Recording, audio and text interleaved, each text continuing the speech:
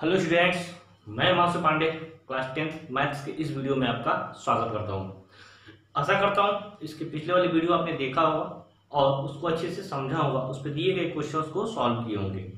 आज हम इस वीडियो में हम लोग पढ़ेंगे fundamental theory of arithmetic arithmetic का फंडामेंटल थ्योरम क्या होता है? तो यदि किसी कंपोजिट नंबर को उसके प्राइम फैक्टराइजेशन के रूप में लिख दें तो वही होता है आपका फंडामेंटल थ्योरम ऑफ़ अर्थमेटिक मतलब किसी भी कंपोजिट नंबर या फिर किसी भी नंबर्स को उसके प्राइम फैक्टराइजेशन के रूप में लिखना ही फंडामेंटल थ्योरम ऑफ़ अर्थमेटिक होता है। तो आइए इसकी डिफिनेशंस की बात कर लेते हैं। इसकी डिफिनेशंस क्या होती है? देखिए, यह डिफिनेशन है इसकी। लिखा हुआ every composite number can be represent as the product of its prime number ठीक है? एग्ज़ाम्पल समझते हैं। जैसे मान लीजिए कि दे दिया 120 तो 120 का हम प्राइम फैक्टराइजेशन कर सकते हैं। तो 120 के लिए प्राइम फैक्टराइजेशन करेंगे, जिसके लिए हमको 120 का एलसीएम निकालना पड़ेगा। जिसके लिए हम एलसीएम निकाल लेंगे। 30 two 15 three five five one तो क्या हुआ two into two into two into three into five ये प्राइम फैक्टराइजेशन हो गया। तो बस इसको हम इसके प्राइम फैक्टराइजेशन के रूप में लिख दिए रिप्रेजेंट कर दिए। वही इसका क्या है? फंडामेंटल थ्योरम हो गया। मान लीजिए नंबर दिया थर्टी फाइव थर्टी फाइव को रिप्रेजेंट करना है प्राइम फैक्टराइजेशन के रूप में सेवन इंटू फाइव ये हो गया। तो बात समझ आ रही है? ये कोई नंबर से इसको हम प्राइम फैक्टराइजेशन के रूप में लिख दिए। ये फंडामेंटल थ्योरम ऑफ़ अर्थमेटिक होता है। अब इसका यूज़ कहाँ कहाँ होता है? समझ में आ गया होगा। अच्छे से। ठीक है? आगे आते हैं। इसका यूज़ कहाँ कहाँ होता है? यदि हम इसकी यूज़ की बात कर लें अप्लीकेशन आइए हम इसका अप्लीकेशन देख लेते हैं। Application of fundamental theorem of arithmetic तो इसका जो सबसे पहला यूज़ है एलसीएम निकालने में प्राइम फैक्टराइजेशन मेथड से हम एलसीएम निकाल लेते हैं।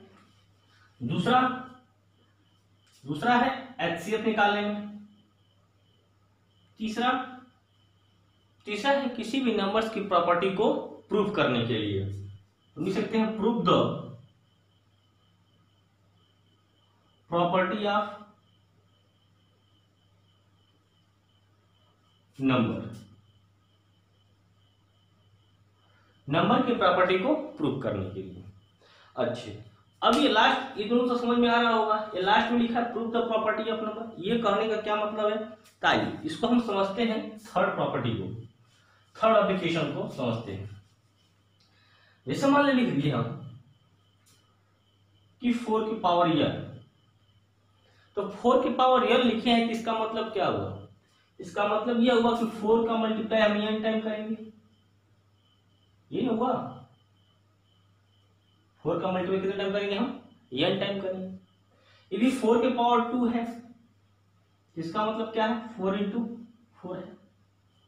यही अब मैं आपसे कहूँ कि कोई एक ऐसा नंबर बताइए, कोई एक ऐसा नंबर बताइए, जिसके पावर मैं थ्री रख दूँ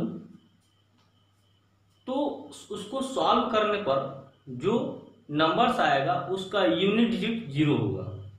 जैसे मैंने लिख दिया फाइव की पावर थ्री और हम कहें सॉल्व करो, और देखो कि क्या इसके यूनिट डिजिट पे ज़ीरो आ रहा है। यदि हम इसको सॉल्व करें तो क्या होगा? वन ट्वेंटी फाइव क्या इसके यूनिट डिजिट पे ज़ीरो आया? नहीं आया। कोई और नंबर लेते हैं। मैंने फोर के पावर थ्री कर दिया। हम कहें इसको सॉल्व कीजिए। और देखिए कि क्या इसके यूनिट डिजिट पे ज़ीरो आ रहा है? तो कितना हो जाएगा? सिक्सटी फोर आएगा? नहीं आएगा। तो अब ओवरऑल क्वेश्चन में ऐसे कह दू कि प्रूफ कीजिए कि सिक्स की पावर यन है। और इसको सॉल्व करने पर जो नंबर आएगा, उसका यूनिट ज़ीरो नहीं आएगा। समझ? आया मैं कहूँ कि प्रूव कीजिए ये कोई नंबर लिखा है और इसको सॉल्व करने पर जो नंबर आएगा उसका यूनिट लिफ्ट ज़ीरो आएगा ज़ीरो नहीं आएगा। तो कैसे सॉल्व करेंगे? तो मान लीजिए, इसको सॉल्व किए यूनिट ज़ीरो ज़ीरो आया, नहीं आया। इसको सॉल्व किए यूनिट लिफ्ट ज़ीरो आया, नहीं आया। कोई और भी ऐसा नंबर है जिसको सॉल्व करने पर यूनिट ज़ीरो ज़ीरो आएगा? तो हम एग्ज़ाम्पल सकते हैं टेन का। टेन की पावर थ्री करें। कितना हो जाएगा? वन थाउज़ेंड हुआ? यूनिट डिजिट क्या हुआ? ज़ीरो। टेन हो सकता है, ट्वेंटी हो सकता है, फिफ्टी हो सकता है, और भी कोई नंबर नहीं हो सकता है जिसको सॉल्व करने पर यूनिट डिजिट ज़ीरो आए। ये भी बातें समझ में आपको आ रही होंगी कि हम क्या कर रहे हैं। मतलब कि आखिर में क्यों?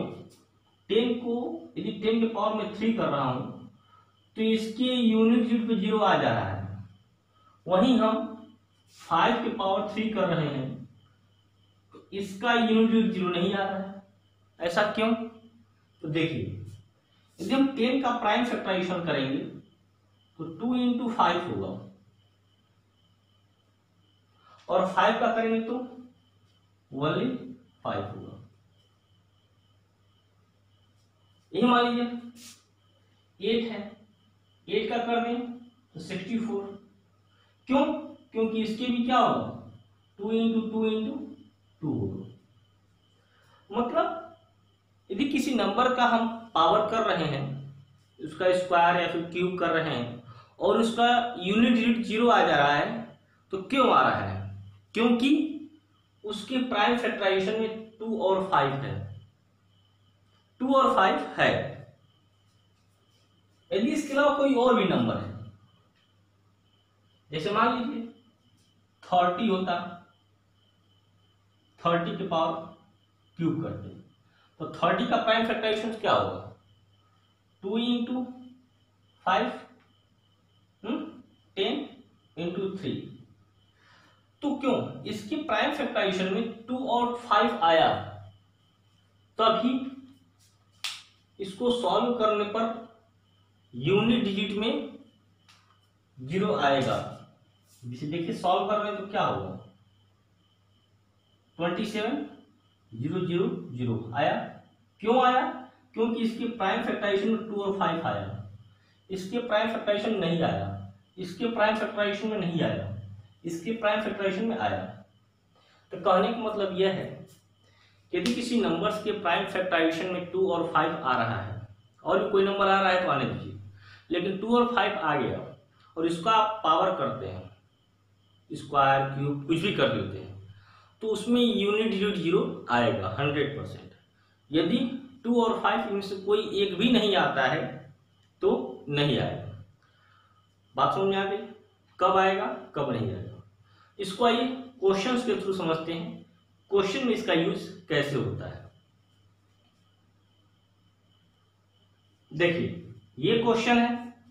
कर आई कि so that any numbers of the form six के power n where n is natural number can never end with digit zero मतलब यदि कोई नंबर इस फॉर्म में है सिक्स के पावर यन जहाँ यन कोई नेचुरल नंबर है, जो यन लिखा हुआ है, ये नेचुरल नंबर स्मॉल यन मतलब ये वाला यन यहाँ यन पर कोई भी नंबर हो सकता है। अब कह रहा है कि यदि कोई नंबर सिक्स के पावर यन के रूप में लिखा हुआ है तो सो कीजिए कि यदि इसको सॉल्व करेंगे तो जो नंबर आएगा, उसका यूनिट डिजिट ज़ीरो नहीं आएगा। तो आइए सॉल्व करते हैं। तो सॉल्यूशन कहाँ से होगा? लिखेंगे we know that if if a number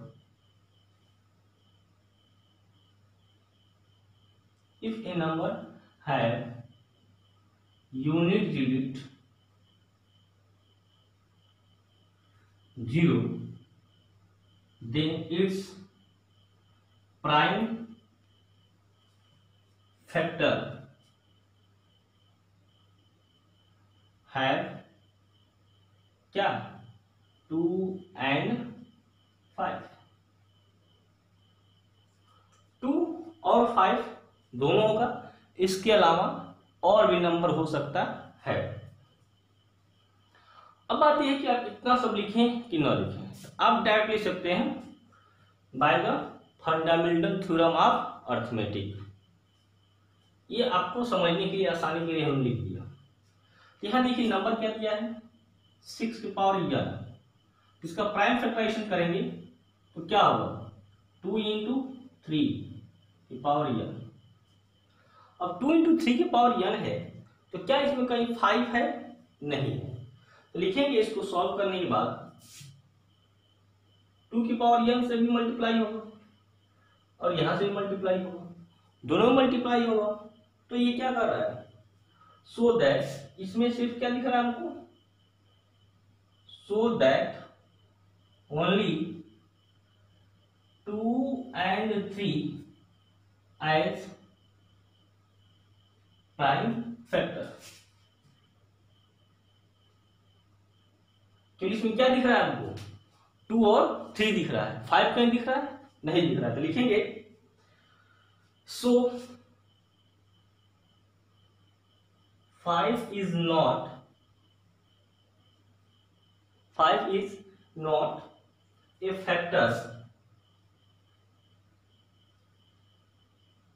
of six की पावर एन यहाँ कह रहा है चूँकि दोनों होना चाहिए। फाइव फैक्टर में दोनों होना चाहिए, लेकिन यहाँ पर क्या है? फाइव नहीं है। तो जब फाइव नहीं है जैसे लिखेंगे हेंस सिक्स की power n can never can never end with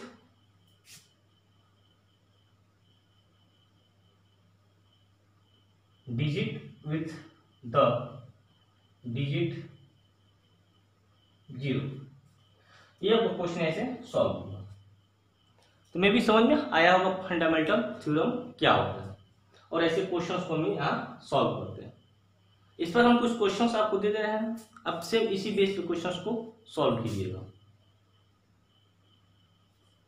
तो क्वेश्चन समझ में आया होगा। उसी बेस क्वेश्चन हमने दिया है, इसको आप लोग सॉल्व कीजिएगा। ओके? और इस वीडियो के लास्ट में मैं एनसीईआरटी e के बुक के क्वेश्चंस को ऐड कर दे रहा हूँ, जिसको आप देख करके एक्सरसाइज बाई एक्सरसाइज सॉल्व कर लीजिएगा। हम हर टॉपिक पे वीडियो बना चुके हैं। उसी टॉपिक से क्वेश्चंस आप एक्सरसाइज में मिलेंगे, जिसको आप सॉल्व कीजिएगा। तो क्वेश्चन देख के सॉल्व कीजिएगा। तब तक के लिए बाय बाय